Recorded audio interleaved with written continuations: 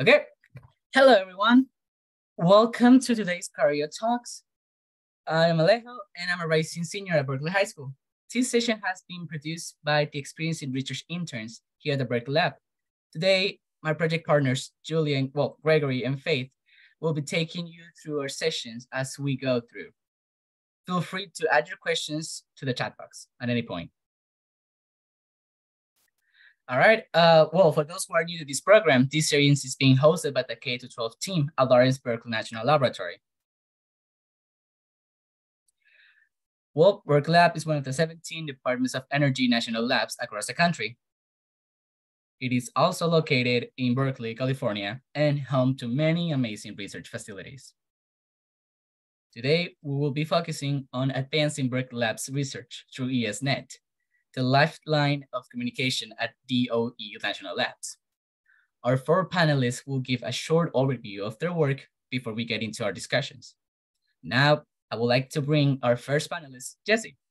Please join us and begin sharing your slides. Awesome. Well, hi, everybody. Um, very excited to be here. I am newer to ESNet. I just um, am hitting my one year anniversary um, and I'm a network engineering group lead. So I oversee um, a couple subgroups within the department. So I'm just going to do a sort of rundown uh, about me because I have a very winding road to get to the lab. But I grew up in Seattle.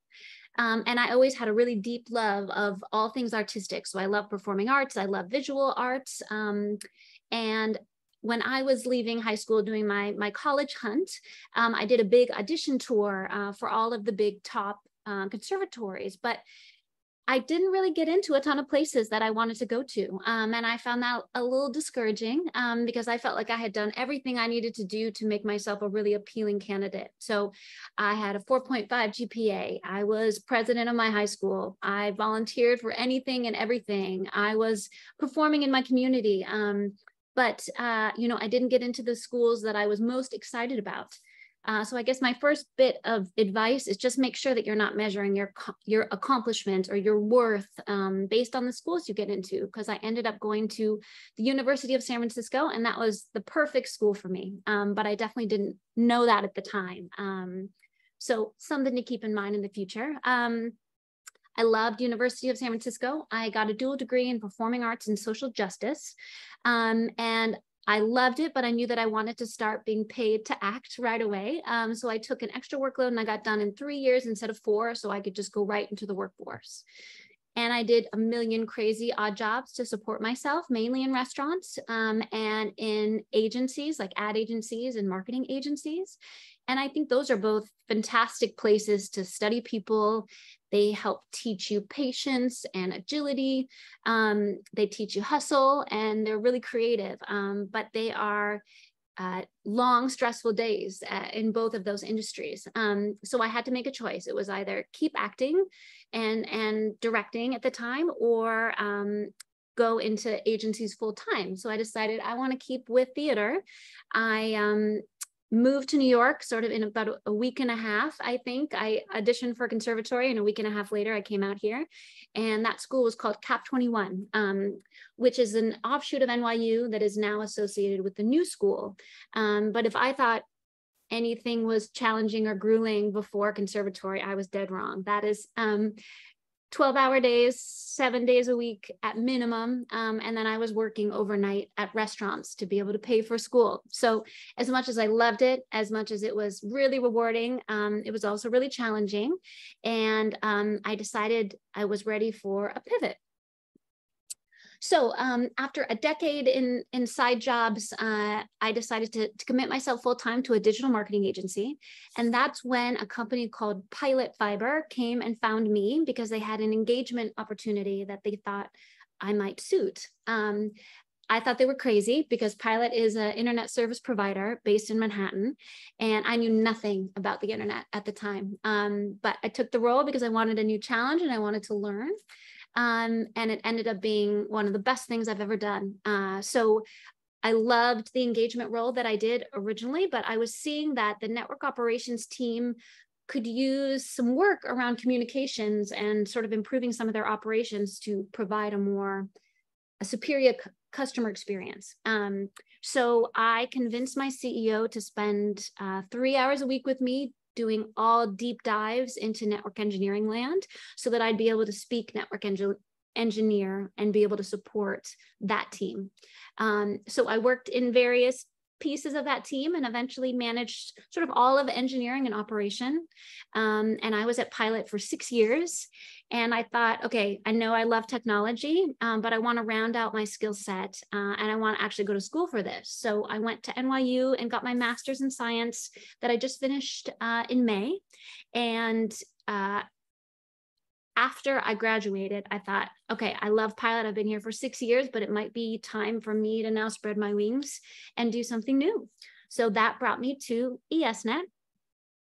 Um, and just sort of to talk about my role at ESNet or to talk about ESNet, I guess, in general. So, modern science is a collaboration and it involves many different groups and it's also very data intensive.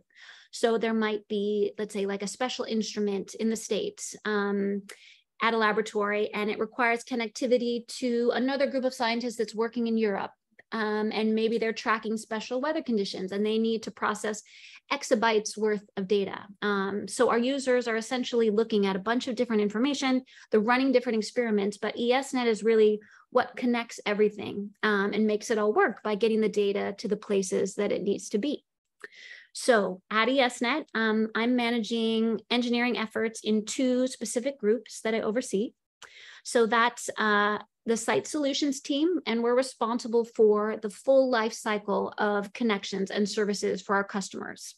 And then we have a peering group um, that is responsible for essentially the deployment and the management of all of our external connectivity. So that means like cloud connections and internet exchanges. So in wrap up, it's a very exciting place to work. I'm loving it. Um, it's it's great to have a clear mission because previously working in the private sector, everything is sort of about the same focus, which is acquiring more customers, making more money, right? Um, but it's been really a nice breath of fresh air to work in research uh, and education. So um, I love it. I love it so far. Uh, and thank you guys for listening. That was great. Thank you so much for that great presentation. Now I would like to introduce Dan and I would like to welcome him to our virtual stage in order for him to introduce himself. Hi, thank you. Great presentation, Jesse. My name is Dan Doyle, and I am a my formal title is a principal full stack developer, although I just think of myself as a software developer. And like Jesse, I have been here for just about uh, shy of a year, although I have been doing this field for quite a, a long time. So when we talk about me, I thought I would talk about my journey so far. Basically, what is what is this weird set of steps that led me to where I am right now? So I grew up in Massachusetts, um, actually very close to Boston. Uh, and if you're paying particular attention, you'll notice I don't really have that Boston accent anymore. I haven't lived there in probably 15 or so years. And it was one of the things that was probably the first to go. Um, although, if I go back and visit family, it, it tends to come back out. I've always really been into computers, but way back when I was a kid, I never really thought of it as a career. It was just kind of a hobby for me. And this was back in the day, you know, YouTube didn't exist, Google didn't exist. Um, my mom, I was, you know, four years old, and my parents would help me connect to BBSs on the internet or, you know, what passed for the internet back then. And it was fascinating to me this idea that you could connect to all of these different places around the world instantaneously well all right it's not nearly as instantaneous back then as it is now but for all intents and purposes instantaneously. And we would use it to download little games um, you know maybe swap a few messages things like that. But back in the day that to me uh, it really opened my mind to the possibilities here. Um, I've always had a really curious mindset. Uh, it's not necessarily just limited to computers, pretty much to everything. Um, maybe the the best example of this is when when I was probably six or seven, uh, we got a new um, uh, washing machine, and I begged my parents not to throw away the old one because I wanted to work on taking it apart. I, I I'm not going to pretend I had any idea really how it worked, but I really wanted to see what it looked like inside. Right? How do all of the pieces sort of come together? And and they humored me on that. We managed to keep it around for a little while at least until it was you know suitably disassembled and and then it got swept out. Um, I moved to Indiana for college. Um, I have family out here, and I really wanted a different change of pace. Uh, I'll fully admit, growing up on the East Coast, I had this view in my head that Indiana was going to be nothing but farmers and farmland. Uh, and I'll be honest, that's true for some parts of Indiana but I live in the in the south, uh, towards where it becomes a little bit more Appalachia, and I had no intention to stay here. Um, but life is funny. I ended up meeting my wife. I've met some really good friends. Uh, it's a great area. I live in a college town, so uh, you know it's big enough that it attracts a lot of interesting things, but small enough where there's no traffic, there's no light pollution. Really, uh, it's kind of a nice balance for me. And when I went to school, I originally went in, oddly enough, for this thing called classical studies. Uh, that's really ancient Latin, ancient Greece. Um, and I had a minor in CS. I knew I liked computers, right? But I was just going to treat it as a minor. Um, I had toyed with the idea of teaching. Um, I thought that that could be a fun thing here. I've always uh, had I've always taken a lot of joy in being able to explain something to somebody and see them succeed. It probably factors into why I'm in this field in general. And unfortunately, um, I realized after maybe the first one and a half years that there wasn't a huge future there, to be honest. And so I ended up swapping. I switched CS into my major and I decided to do all those other things as minors, and I, d- I did finish those. So, as far as how I got to ESNet, uh, right out of school, I was hired to work at a local place called uh, GlobalNOC. It's a network operations center, and it provided support for R&E networks across the world. And how I got this job, honestly, was just being in the right place at the right time. I was at a picnic for the School of Computer Sciences, and I bumped into some people. We got to talking. They said, Hey, you seem like a sharp guy. If you're interested, why don't you come check this out? One thing led to another and i ended up working there for about 13 years. Um, I, i've always worked my entire career as a full stack developer and what that really means is i implement everything from the bottom so you know like maybe data collectors databases all the way up to the front end um, you know where people are clicking around on web pages to actually implement things. And i learned a ton from that and the funny thing about it is that it's a really small world. Um, even at my time working at the Network Operations Center, I actually worked alongside several people at ESNet just on collaborative projects, or I would bump into them on conferences. And so instead of being right time, right place, it actually was more a function of networking. Um, I knew these people. Um, eventually, it made sense for me to, you know, branch out and uh, you know get the opportunity to try some new experiences so far, I think it's working out pretty well. and so, what I do specifically at ESNet, I am still a full stack developer. Um, I work on the measurement and analysis team. It's a team of about 12 people. Some people are like half on it, so it depends how you measure it. And I predominantly am responsible for writing and maintaining systems that instrument the network and help visualize it, right? These are complex systems and you sort of need to be able to to zoom into the right level to maybe solve a problem to justify an upgrade something like that and specifically uh, my role here i mostly focus on the back end of these days the uh, i'm sorry mostly focus on the back end these days data collectors back on the databases api design uh, that that sort of thing. So I think I'm just at about time here, so I'll go ahead and pass it over. Well, awesome. Thank you for that introduction. Uh, well, I'd like to welcome Katrina next to the stage for her introduction. Hey guys, thanks for the intro. I'm Katrina Turner. I work, my formal working title is a data visualization and UI developer. Um, but like Dan, I'm just a software developer. Um, so I'm actually also on the measurement and analysis team at ESNet, and I live in Kaneohe, Hawaii. That's my hometown right there. Uh, so funnily enough, Jesse, I also started as a musical theater girly, and growing up, that was what I did. I did musical theater. I danced hula for a very long time. Um, And I kind of thought that's what I wanted to do until I went to college and I was like, oh, maybe I should, you know, do something that's a little bit easier to make money with. Um, and so I played with a couple different majors, but ended up landing on math and education. So then I became a math teacher for seven years. Um, throughout my time as a teacher, I actually still danced hula and did musical theater. So that worked out pretty well. Um, but for lots of reasons um, that we won't get into, I decided to change what I did as a career. I wanted to kind of settle down, start a family. Um, and so I went back to school and I got my master's degree in computer science. And I became a computer science cool kid, as I like to say. Um, next slide. And so I had applied for uh, the math graduate program at University of Hawaii, but I took this random summer class that was coding um, Altino cars. Super, super random. It was put on by like a local company for teachers, and I just took it because I had nothing better to do that week. Um, and I found out that I actually really, really liked coding. Um, it had previously been like furthest from my mind. My dad was actually a software engineer and I thought it was super boring. And so I didn't want to do it at all. Um, but I took this class, thought it was super cool. On a whim, decided to also apply for the computer science program um, and got it.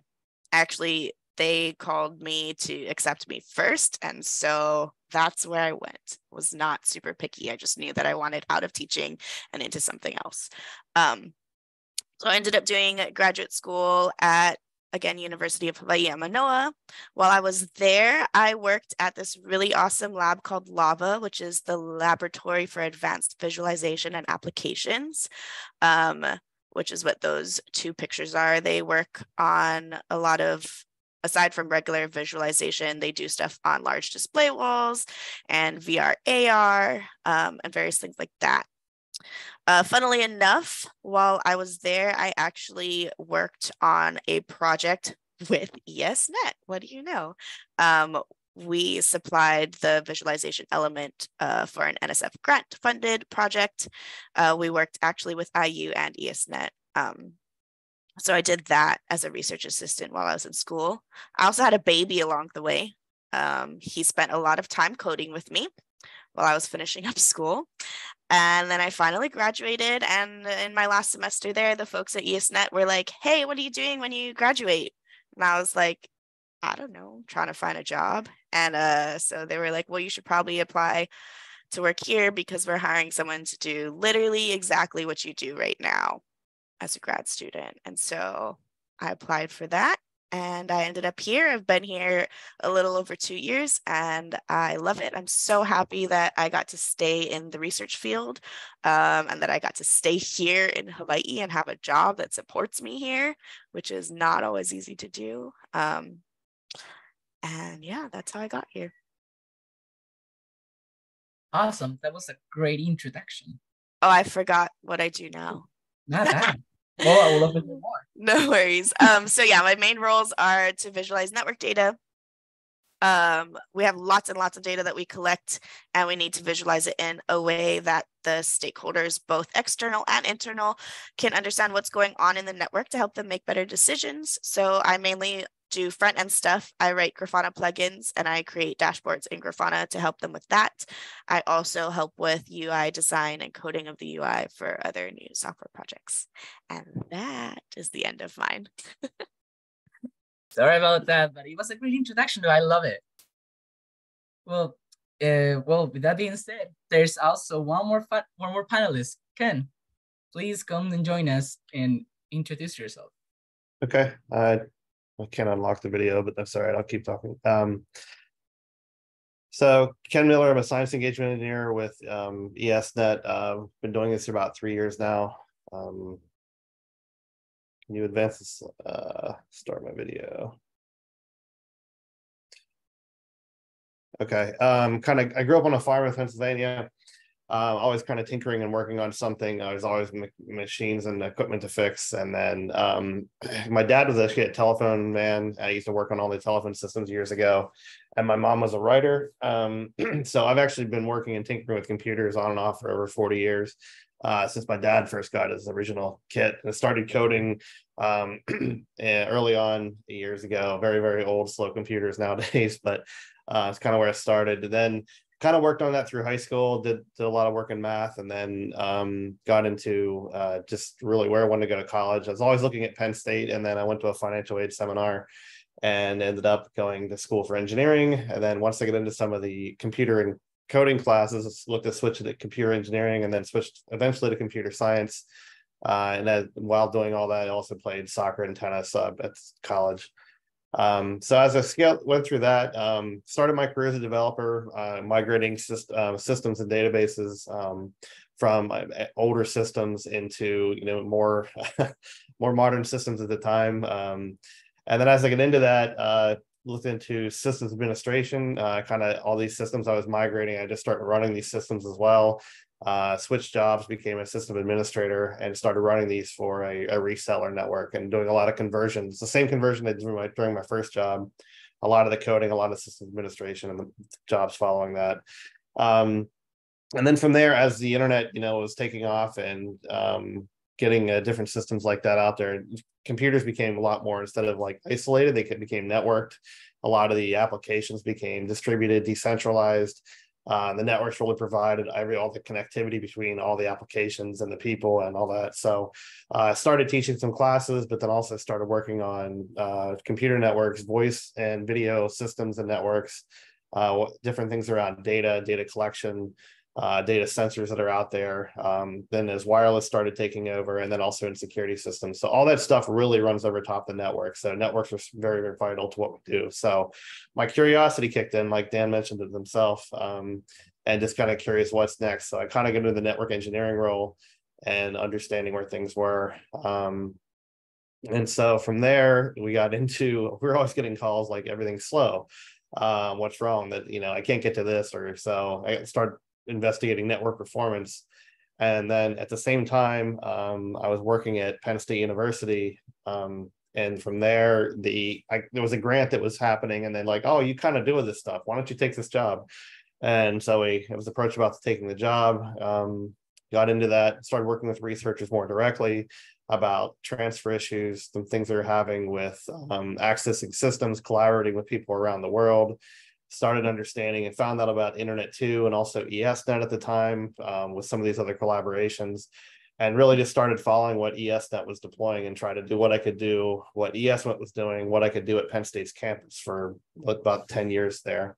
And then eventually, you know, position to open up and I was, you know, um, asked to apply and here we are. So um, two of the things I work on on the left, um, we build dashboards um, similar to what uh, Dan and Katrina were saying about uh, looking at the network performance. We try to monitor that as, as best as possible, but we also try to take some of the technology out of it and try to make usable um, app applications or references to what's going on. So we built this data transfer scorecard at the bottom left there that really can visualize um, across really any any sort of uh, curriculum you're in in the research world, whether you are a researcher, whether you are a network admin, whether you are a systems admin, they all talk the same thing on data transfer, but they all speak a different language. They all talk about different data rates. So building things like this and make building a common platform across users is kind of what we look into. So so ESNet's vision is there at the top, but what we also do is we try to, you know, since the network connects everything, we try to be completely unconstrained. So a lot of what my team does now is gather requirements reviews so that we can hand off um, engineering or individual connectivity options um, back to groups like Jesse's so that we can understand where things are going. So we try to uh, look at the science, understand what's really going on out there, understand some of the coding, some of the applications, some of the systems they connect to, some of the networking connections they need, and kind of really the, the entire ecosystem, how the research and the workflow happens. We try to build it into documents. Um, we do two of those a year, um, and about every three years, we we work through each individual office of science that's out there. And by doing that, we can kind of build some short-term, medium-term, long-term network requirements or application requirements um, for the multiple groups that might need this information. So we try to build you know, kind of the framework of really what the next steps are uh, as we work with the researchers and the research teams. So from there, this is kind of the idea of the map, how ESNet connects to everything. Um, and we will really work anyone across any of these hub sites, any of the universities that are connected through there. And we treat the network just as a critical component of the sciences out there as well. So as we're going out and doing science engagement, we understand there are network components to it. There are research, but there's also collaborators across different universities as well.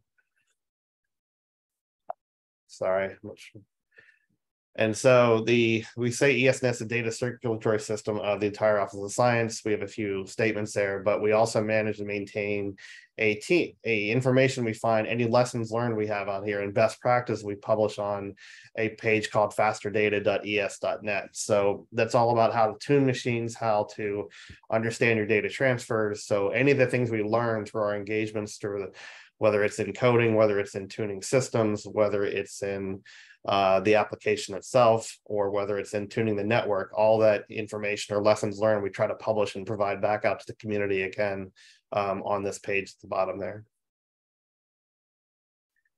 And then these are two fun things that I've taught a few intro to networking courses in the past. And these are two books I ask people to kind of read through those. The one on the left is kind of really, you know, an interesting take on just an author's view of how he tried to understand how the internet and networking works. And then the one on the right is really a networking piece um, that is really understanding the network and how it relates to high frequency trading and things like that. So these are, again, networks are a general concept, but also networks can be very specific to the purpose they're built for. And that's what ESNet's built around. And that's kind of what these two books talk about as well. So thank you. Awesome. Well, thank you all for thanks to all of our panelists for their wonderful introductions. Now I would like to pass it to my co-hosts, Faith and Gregory, to start a moderated panel.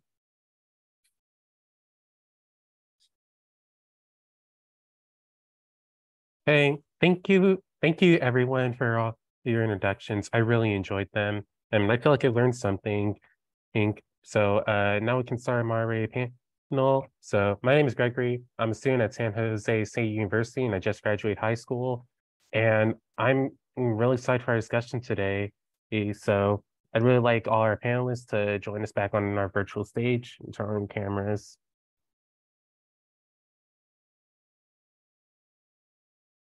All right, perfect. So I got a few questions for all of you, and me and Faye will take turns asking questions. So my very first question, um, mm, just to start things off, off uh, Ken, what is the internet? Uh, it's really just a, a connection um, of computers and systems and resources around the world um, that you know can provide multiple services. It's really just you know network connections between everything, different systems like that. So. Ah, so it sounds like the internet is just a fancy a way of saying that it's just a bunch of computers connected together. Yeah, yeah I mean, there's, I mean, it can be very, it's very complex, but it, it's a, a rudimentary, and you break it down, it's very, very fundamentally a lot of the same stuff, just repeated over and over and over. So a lot of the same things. So. Yeah, thank you very much, Ken, for your answer. Waylon else like to chime in? All right, great. So to move on to our next question. All right, thanks, Gregory. So everyone, hi, I'm Faith Dukes. I'm director of our K-12 programs here at Berkeley Lab, and thanks to our panelists for joining us today. Uh, my next question is for Katrina. So we're building up our, uh, our knowledge base. So going from what is the internet to how does ESNet differ from the general internet? Great question. Um, so the general internet, as Ken said, is kind of worldwide. ESNet is much more specific. So actually, if you look at that awesome map behind Ken's head, um, ESNet specifically connects uh, a little over, I think, 50 um, hubs and sites. So it's all the DOE national labs, um, our supercomputing facilities, and some of our major scientific instruments. Um, and so it's closed to there if you want to collaborate with people outside of that, we also are connected to over a hundred other networks. So if you want to send stuff between universities, they can go through our network and then go back out to another university or something like that. Um, another main difference is that we are way faster, like way, way, way faster. Um, so for example, at home, you have maybe 100 megabits per second to if you have fiber, you maybe have one gig per second, and that's really great. You're doing really well. Um, and you have pretty high speeds. At ESNet, our links are like 100 gigs or 400 gig links. We just upgraded to ESNet 6. And so our overall bandwidth, I think, is 46 terabits per second. Am I correct on that, Ken? Something like that, um, maybe a little more. And we transfer about 20 petabytes every month. So way more data than you're used to. To put it into perspective a little bit, if you get a two hour 4K movie on Netflix, it's about 28 gigabytes because they do some compression and stuff like that. So you could do four of those in a second on one of our smaller links. So that is way faster. I mean, that's like ideal speeds, right? No one gets that, but still. Um, so yeah, much bigger or much smaller in terms of who we connect to, but much faster in terms of how much data you can do.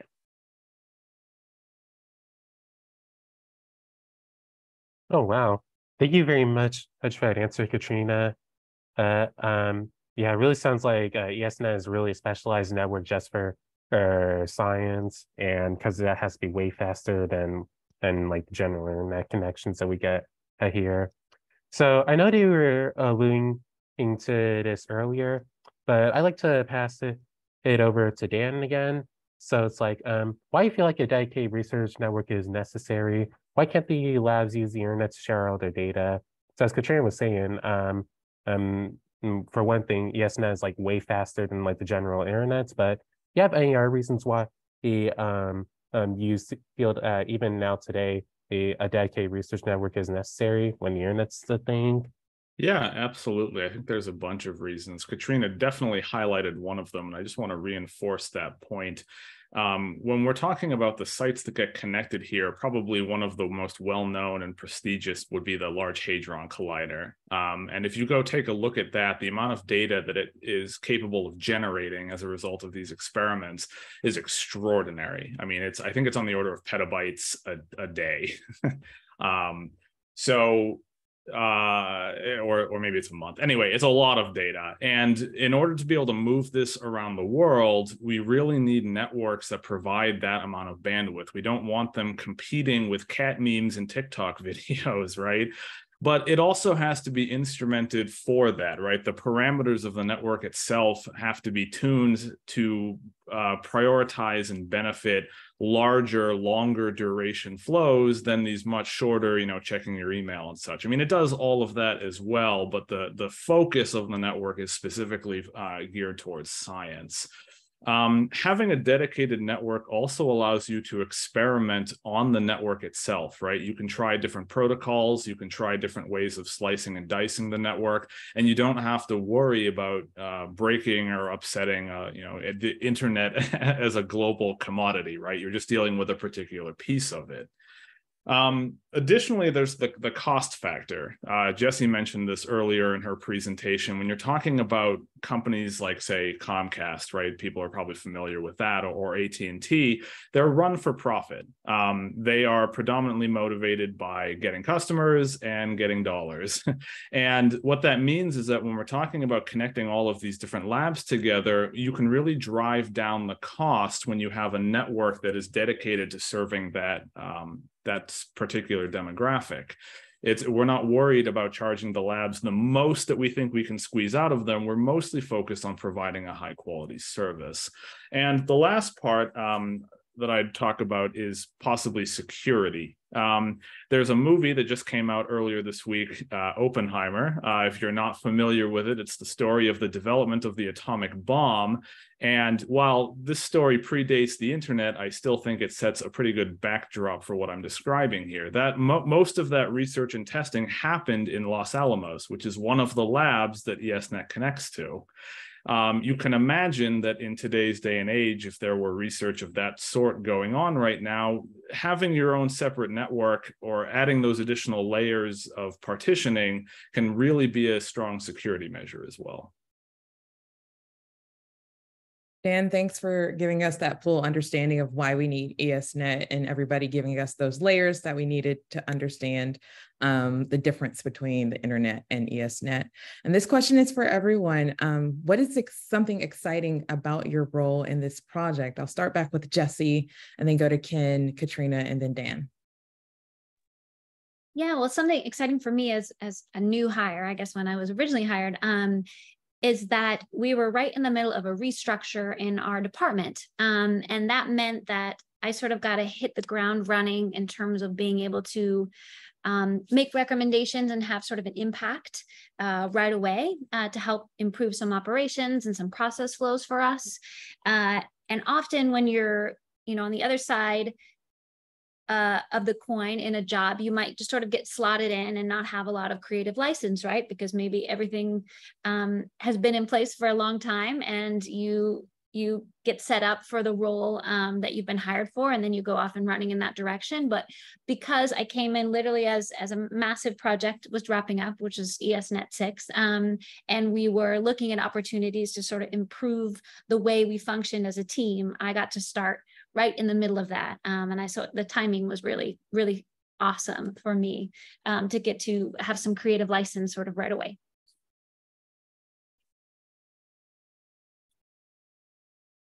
I would say for me, I think something exciting working on right now is um is this we talked about Dan mentioned the uh, you know the fission bomb and things like that that was developed you know early days of the Department of Energy and things like that. Um, but at the same time we're working on new stuff now where the energy we're looking at is is clean energy. We talk take the the fission uh, idea and, and flip it to fusion. We're working on a fusion reactor being built in france right now that could potentially you know power so much energy. It's unbelievable. And they're getting to the point now where on one of our projects the amount of energy to run the machine is almost getting similar to what's coming out of the out of the reaction after the fact. And after a after a fusion reaction, what's left is helium. So it's an inert gas, and we get a lot of energy out of it. So that system's not online yet, but we are in the process of making sure we have connections to this because we do have um, different researchers around the U.S. Um, on the West Coast, East Coast. I was just at a lab a few weeks ago that has uh, tokamak and fusion reactors that they're understanding this kind of uh, energy uh, science being applied. So we're making sure that ESNet is connected to these sites so that we can collaborate and try to find better uh, energy systems for around the world that don't have detrimental effects to the environment, uh, but are also sustainable as well. So. Okay, that's really cool, Ken. Um, Mine is a little simpler than that. Um, I really enjoy that since I do a lot of front end work, I get to really incorporate a lot of my creative side into what I do. Um, and because we're in the research world, um, everyone kind of gets to have input and have their own voice and make suggestions. Uh, we're working on a brand new piece of software or brand new software application um, in our team to support one of the other things we do. And I'm getting to help create the design of like the UI design from the ground up, which is really cool. Um, so yeah, I just really like the collaborative nature of it and the fact that I still get to be creative while also coding. It's a great combination. Okay. Um, Ken kind of stole my answer, so I'll say the same thing in a slightly different way. All right. um, that's that's all good. Uh, the thing that I have always enjoyed most about this is really the sense of giving back, right? In the commercial world, often you're selling widgets, and there's a time and a place for all of that, and that's good but um, I was actually going to use the fusion reactor example as a way of, you know, this could be when they get it figured out, a, a, huge jump forward in humanity, right? It could change the way that we approach pretty much everything. And being able to be a part of something like that is something that, as corny as it sounds, like makes me excited when I get up in the morning, even if all I'm doing is just this one little piece of it, right? We're all just doing this one little piece of it, but together we're able to come together and you know change the face of the world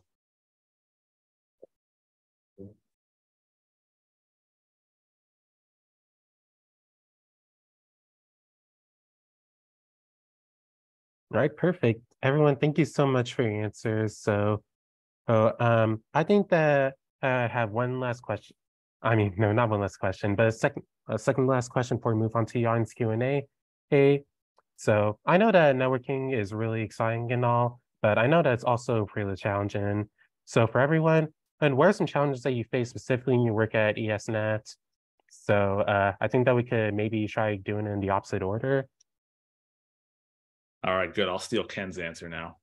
Um, so the the hardest part i think for me specifically it's it's a boon and it's a it's a curse at the same time so ESNet, you may have inferred by listening to all of us talk, there's not a single one of us here on this panel who even live in the same state, right? Um, and that's great. It has really allowed us to hire, you know, sort of the best and brightest minds. Uh, you're not constrained by geographic location.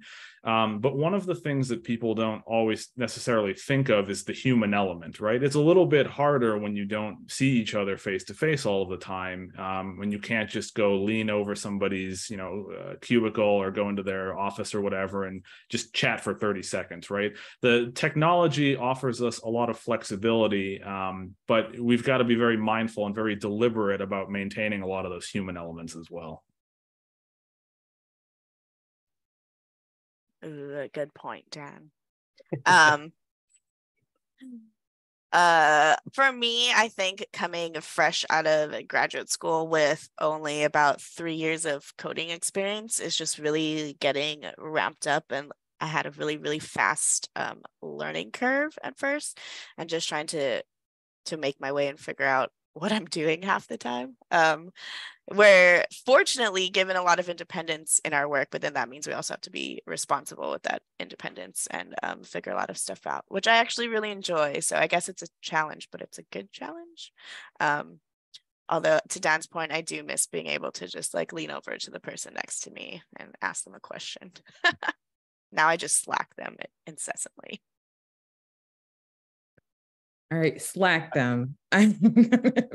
That was yeah. I just wanted to make sure Slack. that was that Slack. Slack. Yes. Yeah. um, I would say from the the science engagement perspective, um, and the team I work on, you know, we have so many facets of the, what we do from, uh, you know, the, looking at coding uh, to different applications to the system to the networking to storage and try to troubleshoot all the different parts of the ecosystem and the workflow the human factor does come into it because some of it we we see people when we go to conferences you know that week when we can and then other times we, a lot of it's done over zoom so people get very busy and it's very hard to kind of get things done like that and when you're trying to talk to numerous people across multiple organizations that all have different workflows and all have different um, you know, things going on in projects. It's very difficult to, you know, challenging and get things done um, because a lot of times across the ESNet, you might be going from one university to another. So you need to talk to someone at the university, someone at their regional network, someone at the the ESNet backbone, one of us, um, someone at the other regional network, someone at the other university. So there's a minimum of five people just to get on a phone call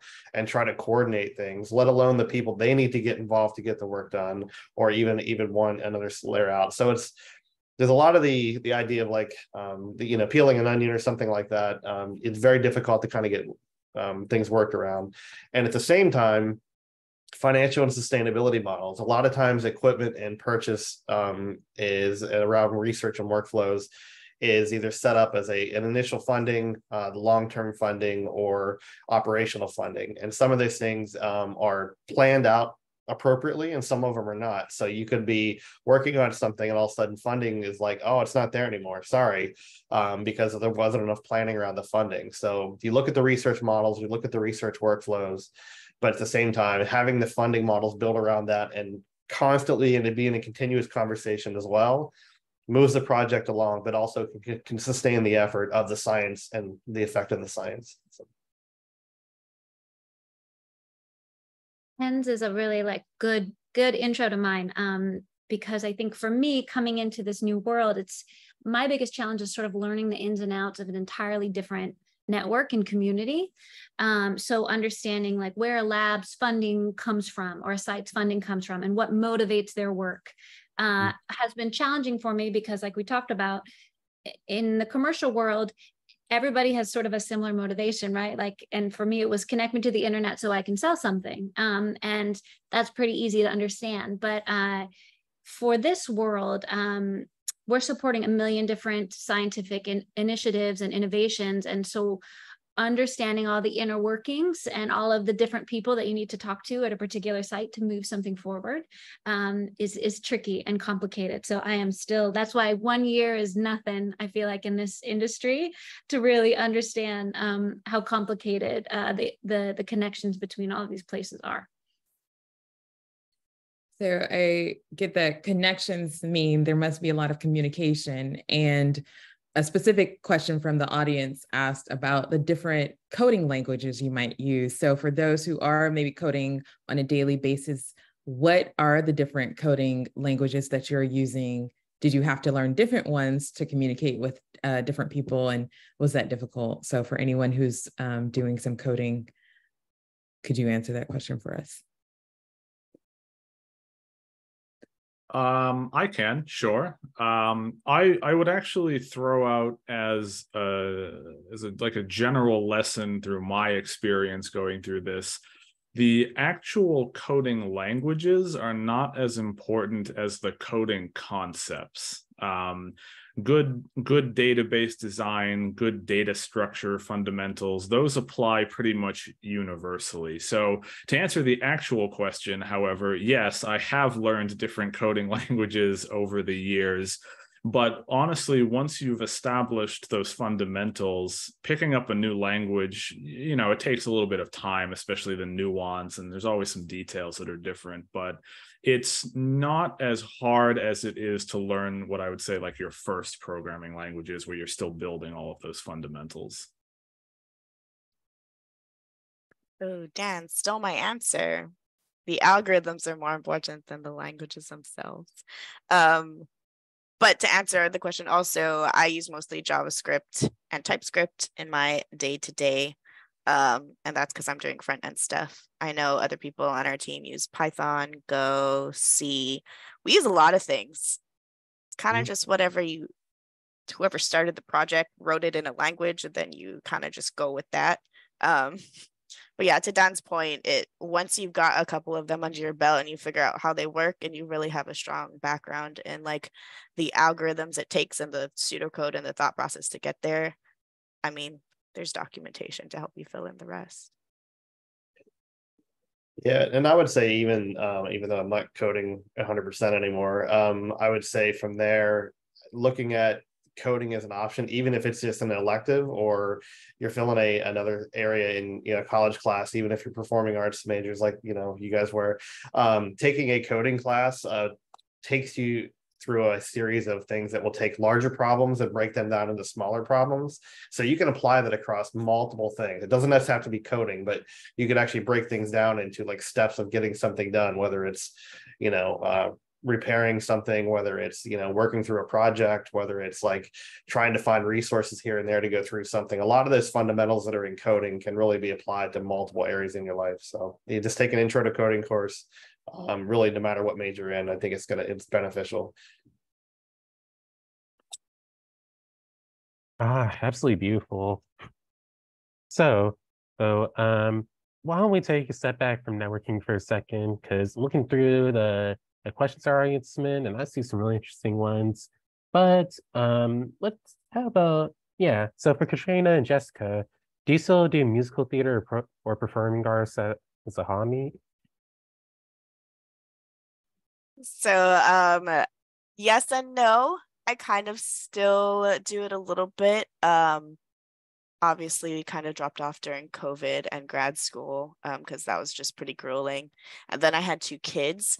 So it's more so the children that make it harder um, to do, especially on stage stuff, just because the the time commitment is a lot more. But I still help out here and there. Um, I do some stage managing here and there. Some of my friends are directors, so I'll help them with their shows here and there. Yeah. Hopefully soon when the kids get older, I'll get back into it. Yeah, so actually very similar for me. um, I there, there's lots of cool opportunities in New York to do like um, like short term stuff. So there's like you know there's a um, a community called Shot who will put together, you know, essentially in a in a month long time frame, they will write um, rehearse and perform uh, small plays. Uh, so stuff like that is a great way. Like I get to keep my hand in, but that has not happened so much recently because I just had a baby. um, so I've also sort of been in and and they didn't have a lot of roles for pregnant ladies, so um, haven't done that much uh, uh, recently. Um, but as much as I can, yeah, doing a little creative something or just a quick weekend performance or something uh, is you know good for the soul. Awesome. Thanks. Uh, we always encourage being well rounded. I'm actually going to pass it back to Gregory for our next question out of the chat box. All right, let's see what the audience is asking. Ah, here's a good one. All right, so oh, how common is it for programmers to get into research fields if there seem to be many more private sector jobs? I guess another way of putting it is, what would make someone work for ESNet over like uh over like a regular tech company, like for example, Google or all the other big tech companies?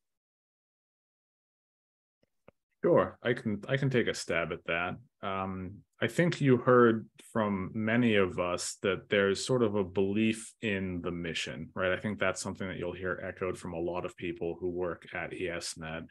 So there's a bit of a selection bias here, a self-selection bias, in that you're getting people who are already interested in this sort of thing, right? I don't think I'm I am not a physicist. I have no idea how fusion works, but I appreciate it, right, as a concept and as what uh, what I think that it can do to better humanity.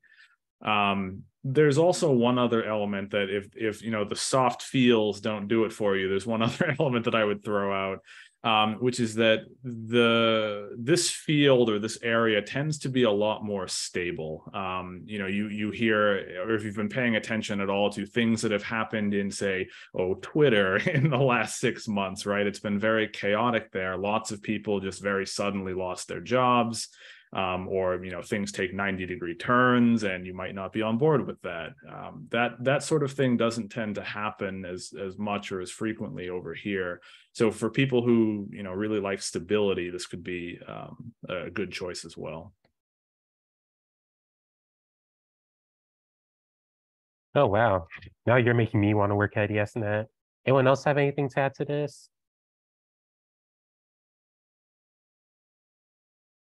No. All right, and so Faye, you think they can ask the next question? Yeah, I think given the time, we're going to get into our final question. So Gregory, I think you have that for us. Ah, all right. And so for everyone, uh, in less than a minute, tell me if you could talk to yourself, if you were like 17 or 18, and uh, what advice would you give to yourself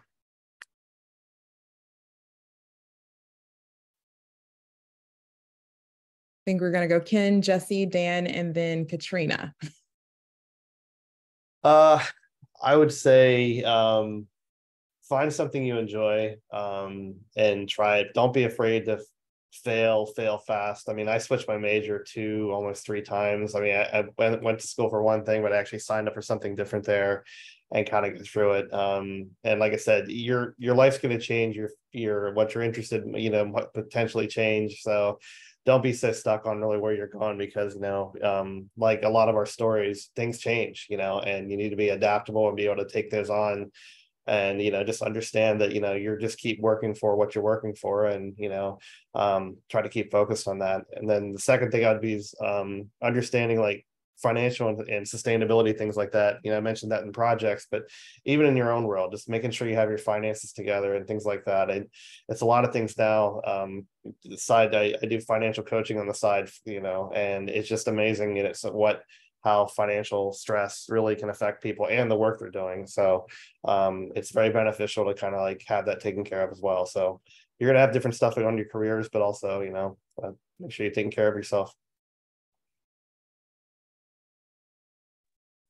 Yeah, that's such good advice. My I I agree with definitely both, but the mine is similar to the, the first part of Ken's. Like you're not just one thing, you're not your degree or your job. You can have varied interests and you can put those capabilities to work in different fields.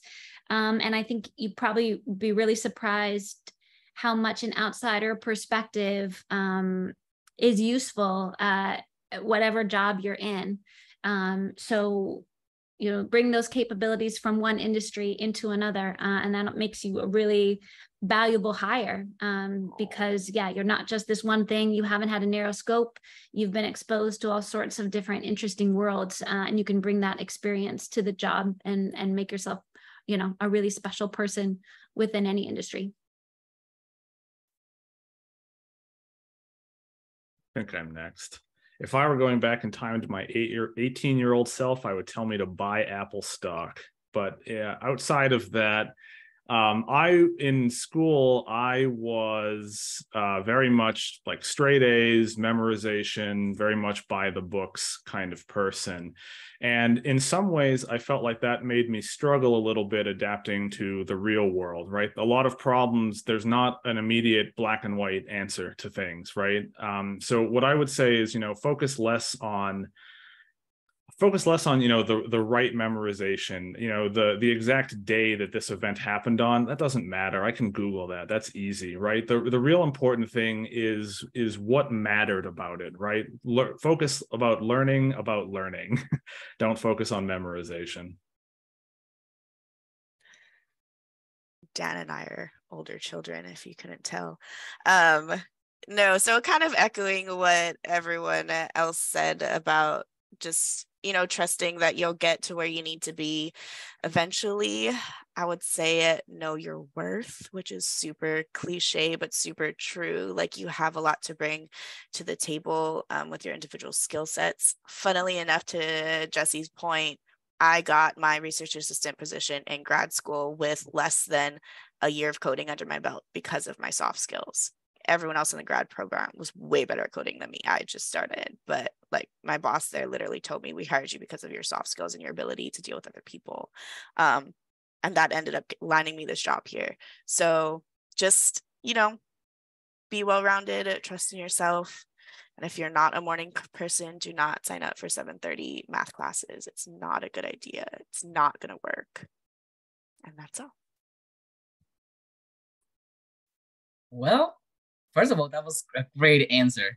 I would like to thank you all for joining us this webinar and you know for joining us for the last webinar for this summer. You can find all the recordings of our previous career talks on our website, and the link will be posting as we're speaking. Once again, thank you all. Have a great weekend, and it was an honor to be with all of you. Thank you.